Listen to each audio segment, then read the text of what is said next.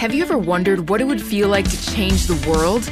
You know, invent something, solve a problem impacting your community, or start a successful business. I created an algorithm to detect Parkinson's disease. There's hundreds of millions of users relying on me to give them accurate information. It really took a while for me to really understand the issue of plastic pollution, and one day it just sort of clicked in my head.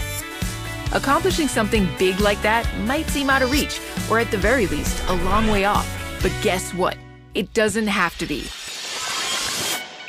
I'm Danni Washington, and this season on The Genius Generation, I'm talking to young people who are changing our world in big ways.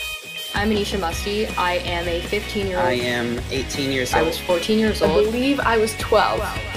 No matter what people say, if you're too young to do it, there's no such thing. Amen to that. Join me every Thursday for new episodes right here or wherever you get your podcasts. Ancient Greece.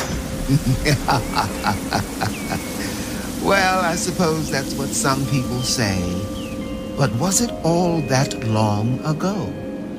Those days of magic and prophecy. Oh my gods! Of princesses and wicked kings. Take it. Father! Take the child. Your Grace, we dare not touch the child of Zeus. Of lovely nymphs and terrifying monsters. Oh boy. I suppose you can call it ancient if you like, or mythological. Me, I call it essential listening. It's live from Mount Olympus. Young mortal listeners most cordially invited. Do subscribe wherever you get your podcasts.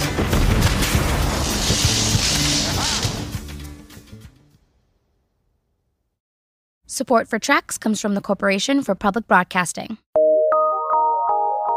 This is TRAX from PRX.